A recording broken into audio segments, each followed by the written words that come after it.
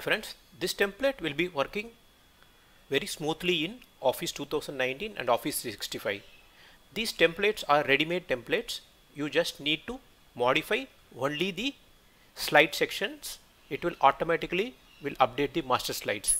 For example, you can look at here on seventh slide, we have positioned the first slide of it.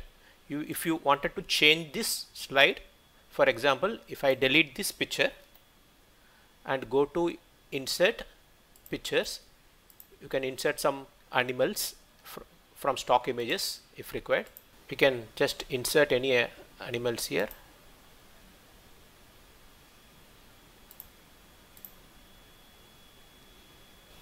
Let's put this bird. And you can go to first slide. You can look at here. Automatically it is updated. So once you click it will automatically you can change the headings also. Birds.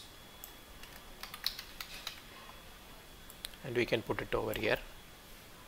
And you can see here it's automatically updated. So this templates is easily modifiable as per our requirement.